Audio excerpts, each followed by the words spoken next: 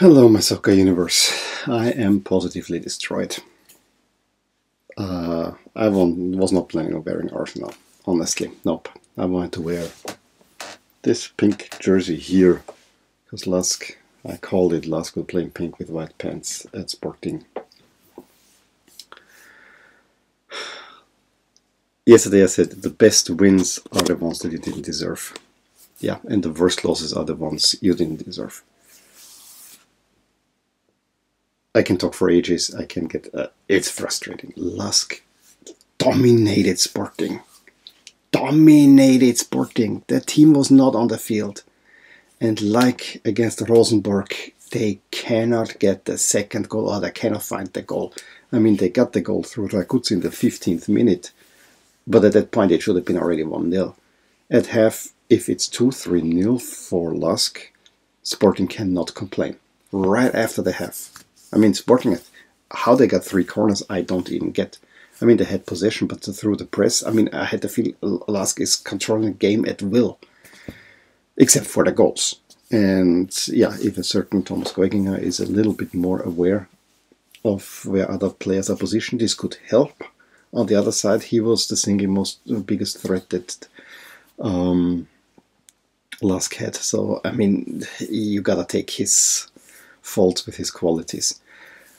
The inaccuracies in getting on the goal, I mean, it's like uh, in training, the goals are twice as wide. Second half, for first 10 minutes, same picture. Sporting is not on the field. Then they get a corner and make the 1 0. No one is standing at the far post. I mean, that was the first thing that I didn't like. I said, okay, 1 1. Yeah, it's a little shocker. And then for five minutes, five minutes, Sporting seemed to be a little bit more, more dangerous. There was a free kick that went under the wall, which was saved. And then again, oh, out of nowhere, they forget about the star, which I cannot even recall his name now. I have a number eight out on, and he takes a shot. And yes, he's a great player. He knows where to put the ball right at the post, going in. And then again, same picture. Took them maybe another five minutes, five, ten, ten minutes. Then again, Sporting was not on the field. I mean, it was a uh, at the very, very end. Pro Sporting could, could, could have even made a third one, which would have fitted. But before that, again, there were chances.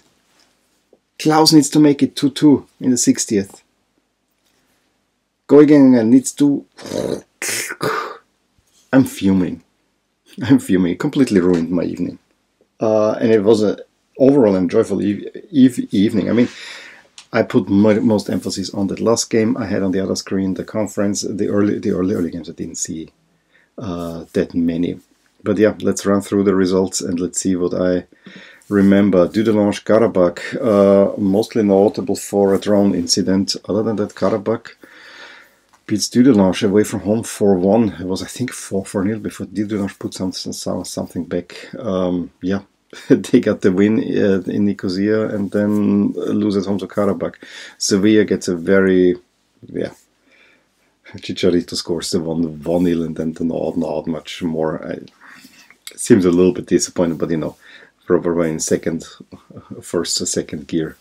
Uh, Lugano Dynamo Kiev, uh, very uneventful nil nil. Malmö Copenhagen, uh, that I think is interesting because those two teams are only separated by the Öresund Bridge, uh, although from different countries. And the Dane makes the 1 0 for Copenhagen, but it is an own goal from Malmö, and then Rosenberg gets a 1 1. Um, so in that group, we have now Copenhagen and Kiev with four points, and the other two have uh, one each.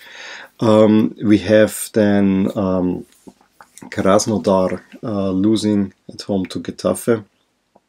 Um, I don't know what's happening to Krasnodar, honestly. Um, to me, um, uh, some some sort of mystery. They pulled one late, back late, but really not much happening. Uh, Trabzonspor 2-2 uh, against Basel, but one of those where Basel took the lead, and Trabzonspor score Trabzonspor scores two, and then Basel gets the equalizer. The second goal with Trabzonspor was a free kick, uh, really really nice one. Um, but yeah, Getafe and Basel seem to be in control of that group now. Then last group, I mean, uh, I talk about the Sporting last game or already. What's even more infuriating is that I honestly think this was the big chance to actually advance in this group. If you get a result, I mean, and if you get the win this way, I think it will be hard because Lask has to play now twice PSV, who absolutely annihilated Rosenborg. This is what you do. When you have chances, you take them, and it's not even a question anymore. The group now, yeah, Lask has to play twice PSV, and it might be an uphill battle from there on because if Rosenborg continues their great trend, the uh, Sporting might get six, and then phew, that's that. Yeah, and you need to uh, Lask needs to get a result against PSV, which honestly a point at most the way they're playing. Uh, then a fun group is the Group E um, between Celtic and Cluj, 2 0 relatively. Um, yeah, there was never much in danger. Lazio turns the game around. Uh, Rennes took actually the lead, and then Lazio comes back with Savic and uh, Immobile, getting them off uh, to a start uh, that you know uh, they had they already lost at Cluj. It's a little bit weird to see now because Celtic has not been that great in Europe, but now they lead. So weird, but also a little bit happy.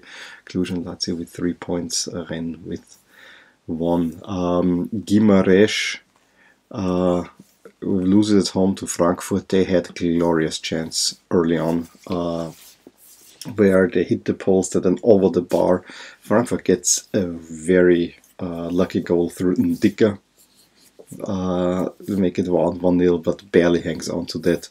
Arsenal completely destroys Standard again with an uh, second string squad. I think an 18 year Brazilian scored the first two goals.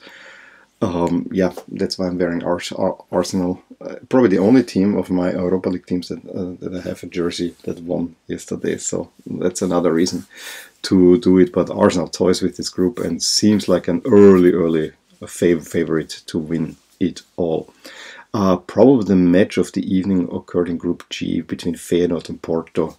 Feyenoord wins it 2 0, but I think Moussa Marega had a glorious chance that he has to make. the hit twice the woodwork. Feyenoord also hits once the world woodwork. This was an absolute joy game to watch.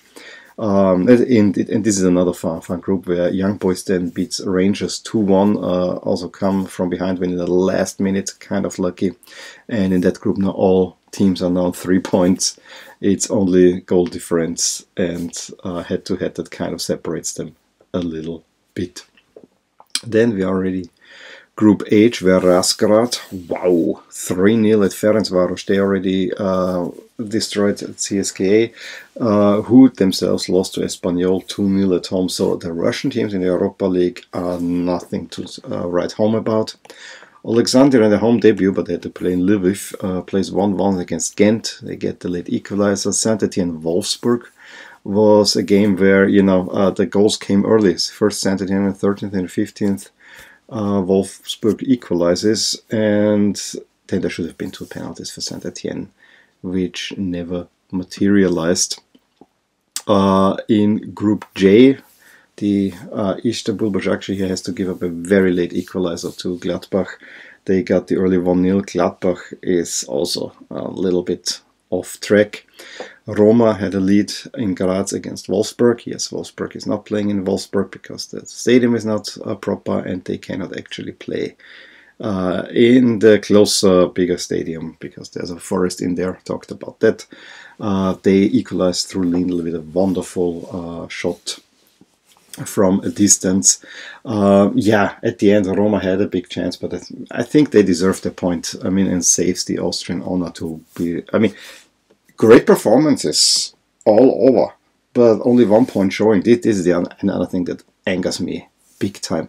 But Roma and Wolfsberg with four each, and uh, Gladbach, uh, Başakşehir with one. So let's see where this is going. Um, Wolves gets a very late win at Besiktas in a pretty crappy game, and Braga uh, has to twice get an equalizer, uh, one in the almost last last minute through an own goal. Um, yeah, that is a game that Braga actually has to win. Galdial clearly said they still lead not the group together with Slovan Wolves and Besiktas um, with um, uh, behind in that order. And then uh, Partizan wins in Astana, gets actually 2 0 up. Astana just pulls one back. And Alkmaar United ends in a Sorad Riri nil nil draw, which means the Partizan United control this group. They play each other now in the double games. As I said, I am still devastated by what Lask pulled. Um, no, I agree they played well, so it's not this emptiness I feel after a loss uh, of Milan these days. It's just I'm angry. You got to let a team off the hook. It's really you let them off the hook. You had them there. You had beaten them to pulp. You just cannot get the finishing blow.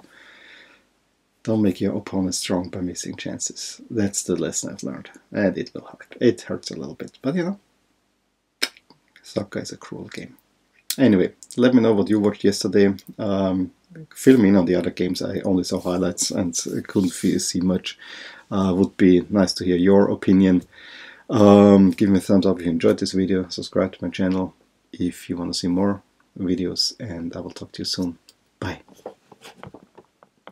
Hey there, I hope you enjoyed this video and if you did, here are some videos and playlists that would be of interest to you too.